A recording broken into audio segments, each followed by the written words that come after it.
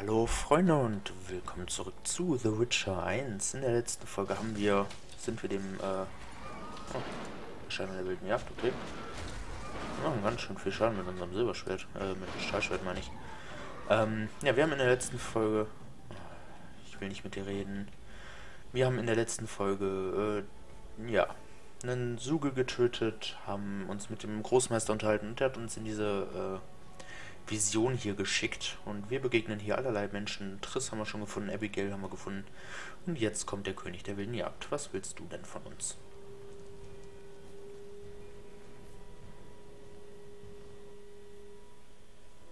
Ihr könnt es nicht aufhalten. Der Tod folgt euch nach. Seine Stimme klingt stark nach Devet. So, noch das Schwert, noch ein Kampfstil.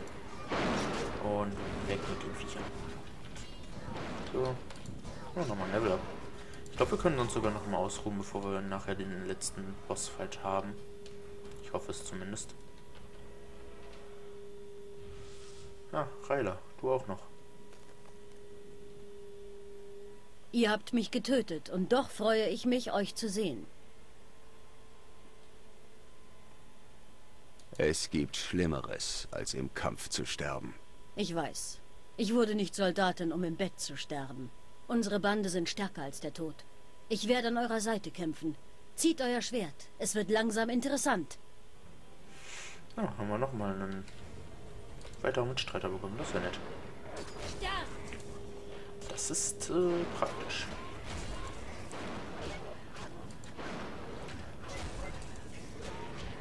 Ähm, okay. Ist auch doch Silberschwert gegen die. Ich bin mir immer noch nicht ganz sicher, welches von den beiden Schwertern das effektivere ist. Aber es scheint wirklich das Silberschwert zu sein. Bist du Triss in Ruhe? Pfoten weg. Meine Freundin. So. Was hast du davon?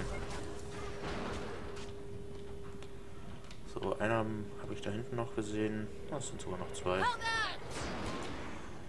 Interessant, dass Ryder uns hilft. Das hatte ich beim letzten Mal zum Beispiel nicht. Ich weiß aber gar nicht, was ich noch hatte. Also ich weiß, dass Triss und Abigail aufgetaucht sind und nachher wird auch noch Alvin auftauchen, aber sonst weiß ich gerade nichts mehr. Könnte der denn mal aufhören wegzurennen? Dankeschön.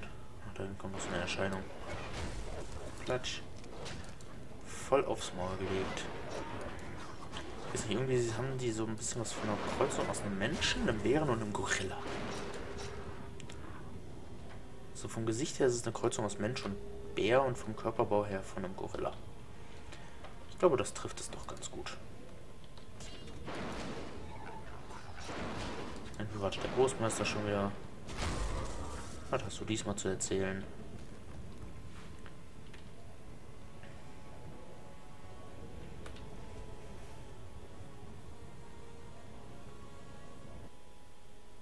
Versteht ihr jetzt endlich, begriffsstutziger Hexer?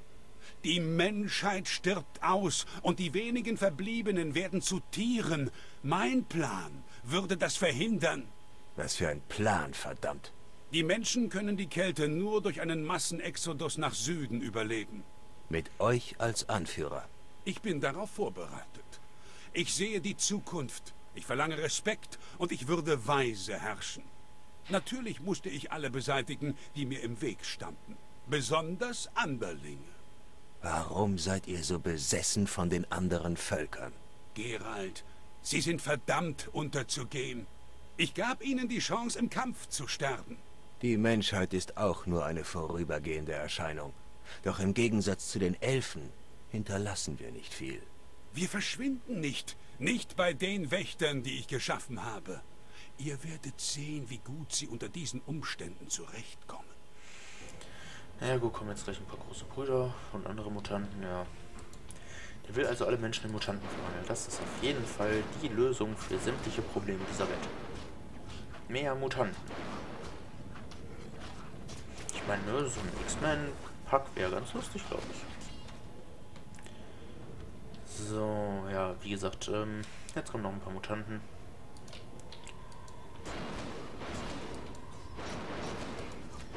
Gut, dass wir so viel Schaden mit diesem scheiß Zauberschild austeilen. Äh, austeilen. Hast du gut gecastet, Triss. Finde ich gut.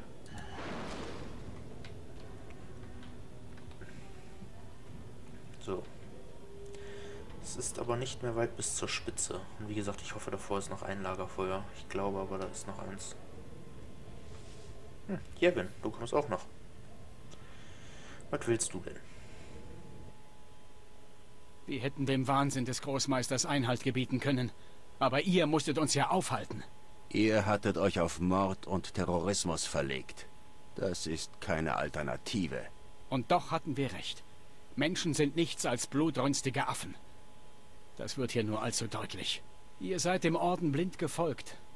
Und erhebt jetzt euer Schwert gegen ihn, wie ein Hund, der die Hand beißt, die ihn füttert. Denn genau das seid ihr. Kein Wolf, sondern ein tollwütiger Hund, eine hirnlose Tötungsmaschine. Ein Niemand. Es reicht, Jevin. Und jetzt töte ich euch wie einen Hund. Das hast du schon mal versucht. Befreit die Elfen! Hm, Anderer Kampfstil, Geralt, danke. Lass dir Triss in Ruhe.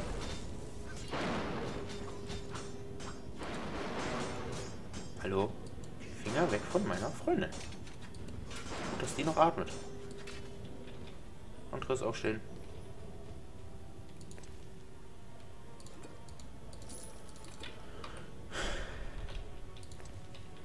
Hm, Fisch.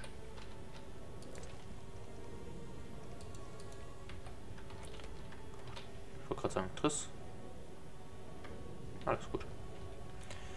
Ah, Meuchlermutanten.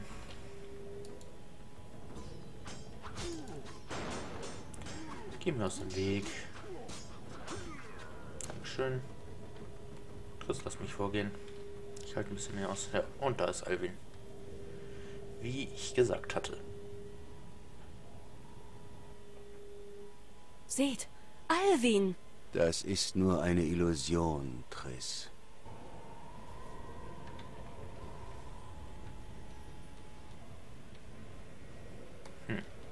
Er hat jetzt nichts gesagt. Ach, Großmeister.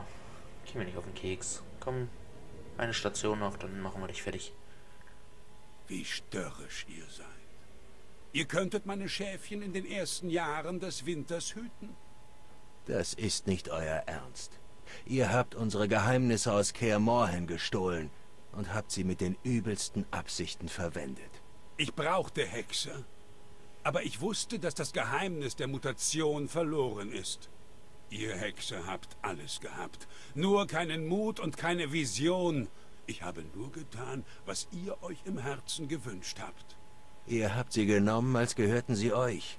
Ihr seid ein Dieb und ein Heuchler. Könnt ihr den goldenen Pfad meiner Träume nicht sehen? Meine Ritter werden ihn euch in der Sprache erklären, die ihr versteht. Bla bla bla. Ah, noch ein paar Meuchlermutanten. Ich hätte gedacht, es kommen noch ein paar große Brüder. Kommen wahrscheinlich auch gleich noch. Hier halt zuschlagen. So.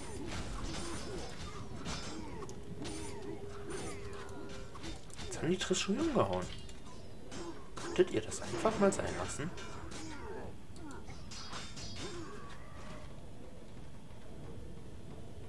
Na gut, sie zuckt noch. Alles in Ordnung. Alles in Ordnung. Ah, da kommst du auch schon wieder. Sehr schön.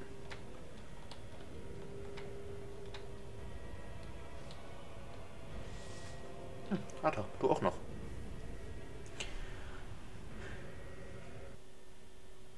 Seht, Gerald. Menschen. Ungeheuer. Es ist leicht, sie zu verwechseln. Wie wahr, Euer Hoheit? Ich muss es wissen, meint ihr nicht? Der Großmeister ist eindeutig verrückt. Nicht einmal ich würde es wagen, so einen Plan zu verfolgen. Wir müssen ihn aufhalten. Herrin, euer Wunsch ist mir Befehl. Ihr habt Stil, eine seltene Eigenschaft. Ich würde gerne an eurer Seite kämpfen. Seht es als eine meiner Launen. Okay.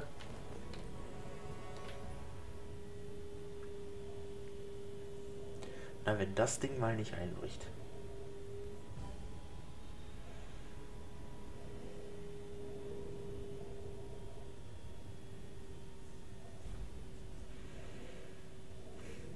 So viel zum Thema Adam Triss. Ah ne, die Grünen. Oh, okay, doch ein paar große Brüder.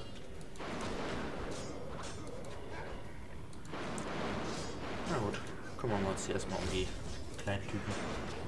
Oder kümmern wir uns um den, der sich gerade halt anbietet. Geralt hat da seinen eigenen Kopf. Toll, mitten in der Kombo unterbrochen. Toll, der Typ wäre tot gewesen. Jetzt sieht schon wieder Triss machen. Könntet ihr damit einfach mal aufhören?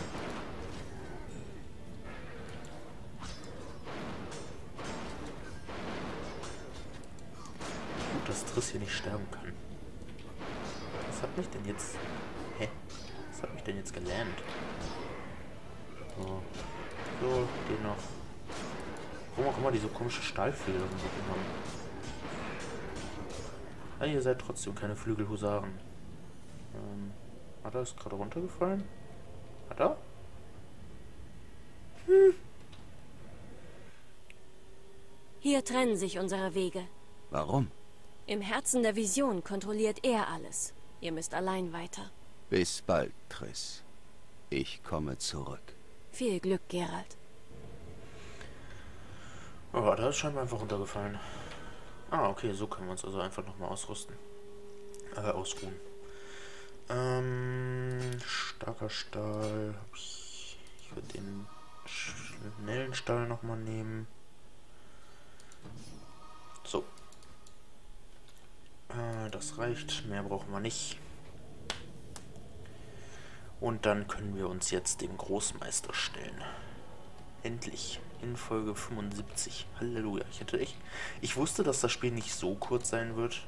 Aber ich hätte eher so mit 50 bis 60 Folgen gerechnet. Nicht mit 75. Ich meine, das sind ziemlich viele Wochen. jetzt, dass um jeden Preis gehandelt werden muss. 25, Geralt, öffnet die Augen, öffnet euren Geist. Leute wie euch behandelt man im Krankenhaus des heiligen Majoran. Ihr verfolgt mich und beweist damit, dass ich recht habe. Ihr habt euch den Gefahren gestellt, die der Menschheit drohen, und überlebt. De Aldersberg, euer Traum ist ausgeträumt. Geduld. Vielleicht überlegt ihr es euch noch anders. Stellt euch Tausende vor, die eine Eiswüste durchqueren. Könntet ihr sie verteidigen? Ihr und eine Handvoll von Zweifeln geplagter Hexer, so wie Berengar? Unmöglich. Das können nur die großen Brüder, aber sie müssen unterrichtet und geführt werden. Sie brauchen euch. Ähm. Ich habe auch ein Angebot. Kapituliert. Zieht eure Mutanten zurück. Beugt euer Haupt vor dem König. So rettet ihr vielen das Leben. Wie zuversichtlich ihr wirkt. Auf euch wartet eine schmerzliche Lektion. Ja. Na dann.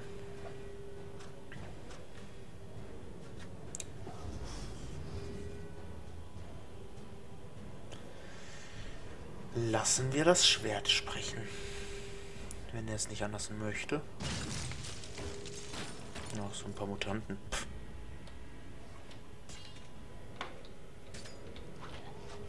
So, dieses Schwert. Dieser Kampfstil. Und...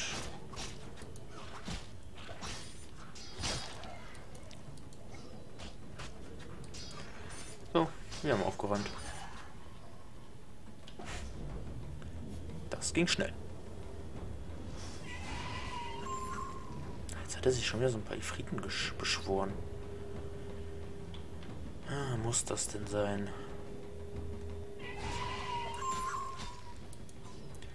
Na komm, konzentrieren wir uns halt einfach auf den Großmeister. Ich glaube, dieUngen des Feuers sind auch eher dazu da, den, das Kampfgebiet einzugrenzen. Ja. Oder auch nicht.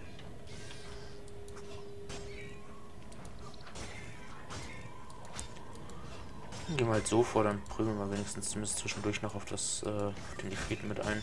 Und ja, ich werde die auch weiterhin Ifriten nennen, einfach weil die als Ifrite vorgestellt wurde. Scheiß auf oben des Feuers. der Großmeister halt einfach gar nichts mehr macht. Ach, guck mal, der König der wilden Jagd.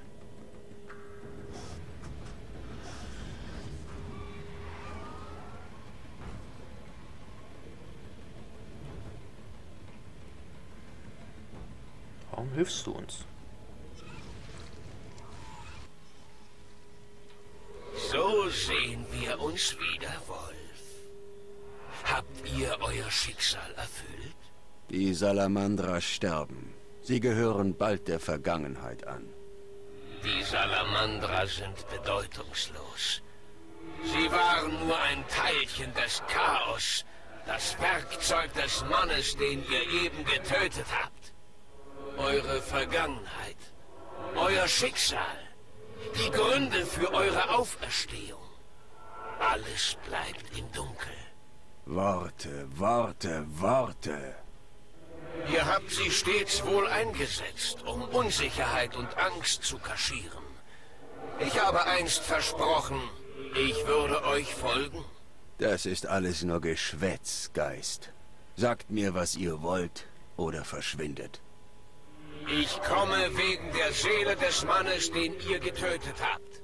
Nicht so schnell. Besinnt euch eurer Taten, Hexer.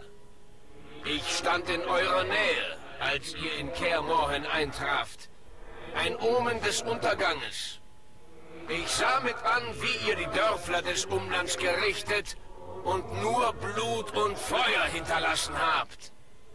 Ihr habt Raimund den Tod und Shani in Gefahr gebracht, weil ihr nur eure Ziele verfolgtet. Das wer Chaos folgt euch auf dem Fuß. Ihr habt Dutzende mit eurem Hexerschwert abgeschlachtet. Ihr habt mitgeholfen, die fanatische Herrschaft des Ordens zu festigen. Ihr habt Visima dem Chaos überlassen, nur um Zerstörung über Trübwasser zu bringen. Jede eurer Entscheidungen brachte neue Verwüstung. Jede Wahl, die ihr getroffen habt, führte zu noch mehr Bösem. Der Orden, dem ihr die Macht übergeben habt, will alle auslöschen, die nicht völlig menschlich sind. Was sagt ihr dazu, Mutant? Hört auf. Leugnet es nicht, Hexer. Ihr seid mein größter Recke. Ein vollkommenes Instrument der Zerstörung. Wohin ihr auch geht, folgen euch Tod und Chaos. Genau wie es schon vor Jahren war. Akzeptiert es! Kämpft nicht dagegen an! Überlasst mir noch einen weiteren Mann, den ihr vernichtet habt. Jacques de Aldersberg gehört mir. Ihr wagt es mir zu trotzen. Ich spüre eure Schwäche, jetzt wo das Leben aus euren Wunden rinnt. Mit jedem Tropfen rückt der Tod näher. Ihr habt keine Chance gegen mich. Ergebt euch mir. Äh, nö. Niemals. Das ist etwas zwischen ihm und mir. Ihr wollt ihn doch sowieso töten. Stimmt. Aber aus meinen Gründen. Und die gehen euch nichts an. Geht, solange ihr noch könnt. Geht, bevor es zu spät ist. Ihr wollt gegen mich kämpfen? So sei es. Eure Flucht vor dem Tod endet hier. Zieht euer Schwert. Ich hatte schon befürchtet, ihr würdet Schach vorschlagen. Aber da hätte ich nichts gegen einzuwenden. Ja, jetzt dürfen wir mal äh, den König der wilden Jagd ein bisschen verprügeln. Allerdings können wir ihn so gesehen nicht vollends besiegen. Sonst gäbe es keinen dritten Teil. Ich meine, der dritte Teil heißt nicht umsonst Wild Hunt. Nö. So, jetzt komm, geh endlich drauf. Lass deine komischen Erscheinungen aus dem Spiel. Die können mir auch nichts. Und wenn ich die ganze Zeit nur im Gruppenkampfstil auf dich einprügel. Sag mal froh, dass ich die anderen Kampfstile nicht nutze. Jetzt wirst du noch schneller weg. Jetzt bist du selber schuld. Du jetzt mal... Habe irgendwie das Gefühl, dass er nicht wirklich Leben verliert gerade. Hier hab ich... Nee. Okay, er verliert doch Leben. Können wir das? Oh, wir können ihn sogar mit dem schweren Kampfstil angreifen. Praktisch. So.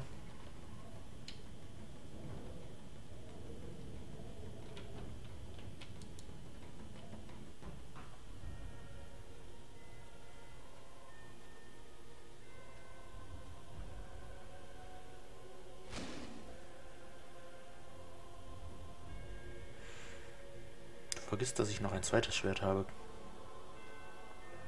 Dieses Schwert ist für Ungeheuer gedacht. Das stimmt.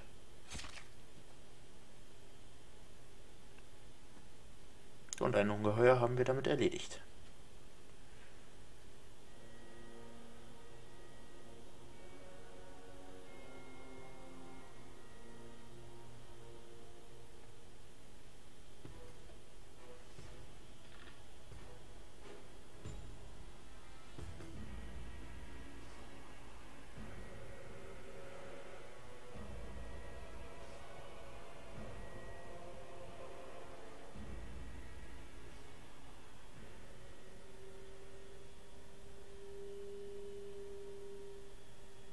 Ihr seid wach, Gerald. Ich habe mir langsam Sorgen gemacht. Rittersporn. Wo ist der Großmeister? Ein paar Schritte entfernt. Er ist tot. Für einen Moment hatte ich befürchtet, ihr werdet ebenfalls verloren. Es war kein erholsames Schläfchen. War ich lange weg? Nun, ihr habt einiges verpasst. Die Rebellion wurde niedergeschlagen und Volltest herrscht wieder in der Stadt. Mit Unterstützung des Ordens. Wie geht es Siegfried? Vor einer Sekunde war er noch hier. Er hat auf euch aufgepasst, bis ich eingetroffen bin. Dann hat die Pflicht gerufen. Ich frage mich, wie er als Großmeister zurechtkommt. Gut, hoffe ich. Was ist mit euch? Hattet ihr Erfolg? Ja. Ich nehme Jacques das letzte Element ab und schließe dieses Kapitel. Yep. Das äh, tun wir jetzt mal. Aus Kaer Morhen gestohlene Geheimnisse und ein Dimeritum-Amulett.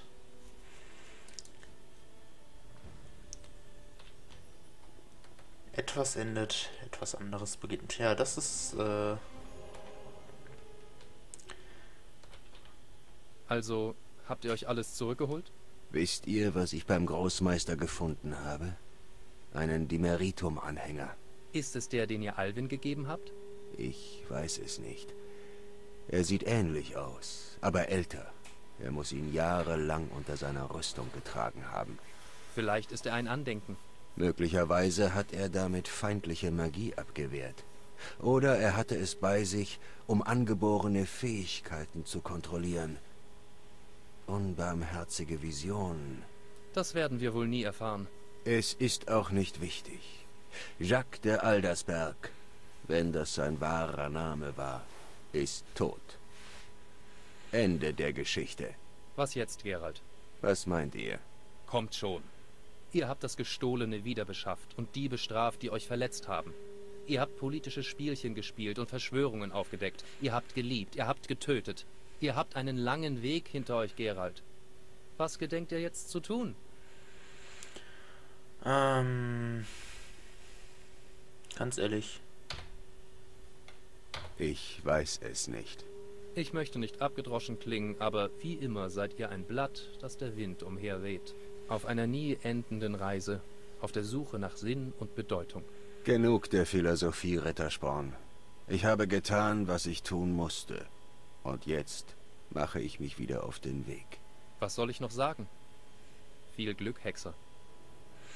Wir sehen uns wieder. Jacques der Altersbergs Begräbnis lockte die Massen an. Alle wollten sich von dem Mann verabschieden, der Vysima gerettet hatte. Die blutigen Straßenkämpfe hatten ein Ende, das Volk feierte die Ritter wie Helden. Die Anderlinge wurden noch mehr gehasst als vor ihrem Aufstand. Die Erlasse des Königs gegen die Skoyatel führten zu einem Massenexodus von Elfen und Zwergen. Die Geschichte kann grausam sein. Der König drückte ein Auge zu, was die Verfehlungen des Ordens der Flammenrose anging. Der neue Großmeister Siegfried von Denesle reformierte den Orden und konsolidierte seine Macht.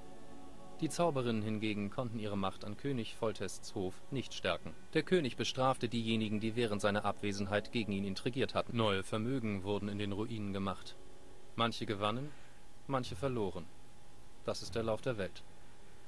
Nur wenige wussten, was in jenen Tagen in Vysima wirklich geschehen war. Das waren jene, die das Schicksal mit Gerald von Riva zusammengeführt hatte.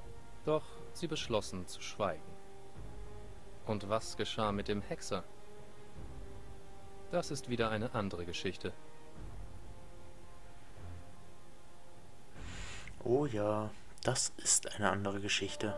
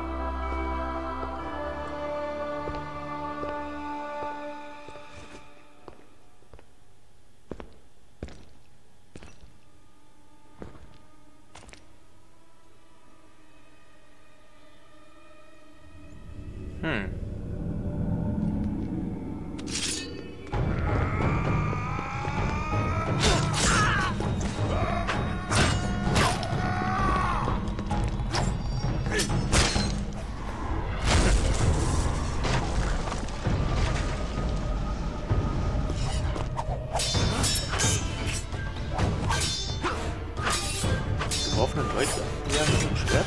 Respekt.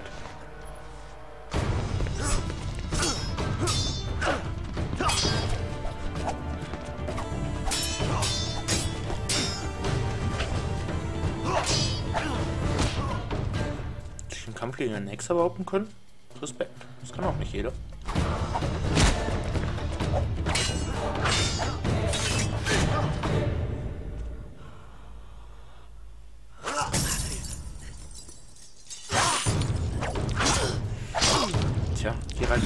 Immer mit sauberen Mitteln, aber er kämpft effektiv.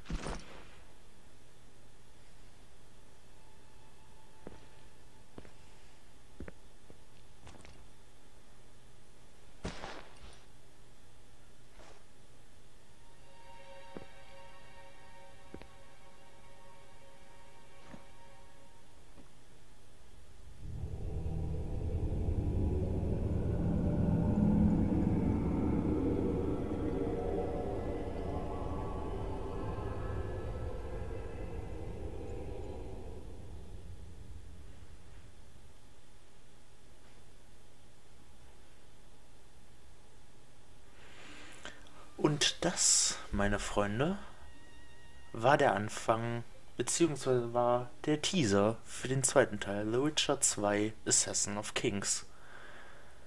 Und damit machen wir nächsten Montag weiter. Bis dahin hoffe ich, dass es euch gefallen hat und wir sehen uns. Ciao.